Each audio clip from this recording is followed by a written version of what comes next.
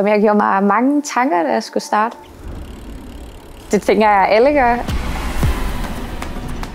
Jeg flyttede fra Jylland til København dagen inden jeg startede, så der var virkelig mange tanker i mit hoved. Passer jeg ind socialt? Er jeg fagligt stærk nok? Og om underviserne overhovedet har interesse i en. Der har nok lidt for mange øh, amerikanske film, hvor underviseren står nede foran, og du sidder bare alene og har ingen øh, kontakt med dem. Heldigvis var det slet ikke, som jeg forestillede mig. Jeg fik hurtigt en social omgangskreds, så både socialt, men også fagligt, så udvikler man sig rigtig hurtigt. Og jeg går meget op i bæredygtighed, og universitetet går meget op i fremtiden. Så på den måde så er vi et rigtig godt match.